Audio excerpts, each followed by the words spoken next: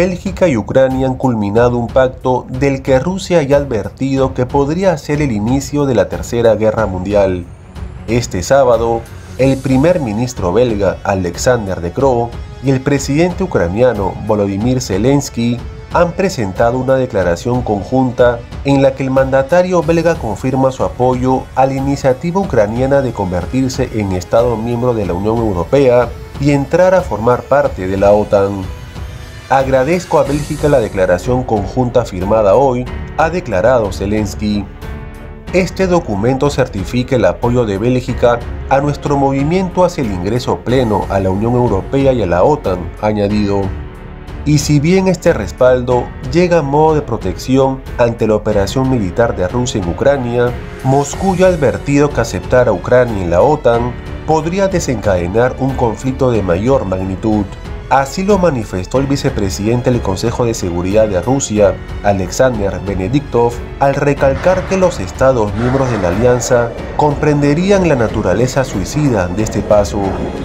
El pasado mes de octubre, Benediktov apuntó que la entrada de Ucrania en la OTAN conllevaría pasar a la Tercera Guerra Mundial en virtud al artículo 5 de la Organización de la Alianza Atlántica que estipula que un ataque contra uno o más países pertenecientes a la OTAN sería considerado como un ataque dirigido contra todas ellas. La no anexión de Ucrania a la OTAN es una de las prioridades de Rusia desde incluso antes de que comenzara el conflicto a principio de este año.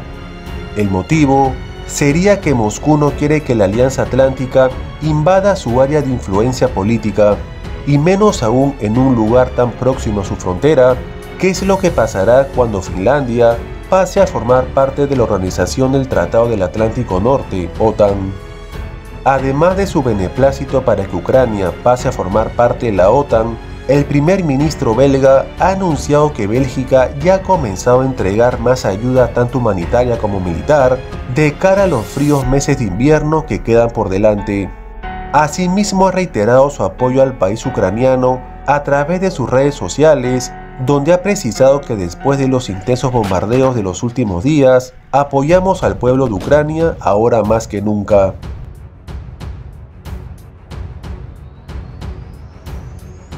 De acuerdo a la información que les he presentado, no se olviden de dejar su comentario o punto de vista, ya que su opinión es muy importante para nosotros. No te olvides de suscribirte al canal y muy importante, activar la campana de notificaciones para que se te notifique cuando publiquemos un nuevo video. Gracias por visitar Krause Rage Games, donde tú siempre estarás informado.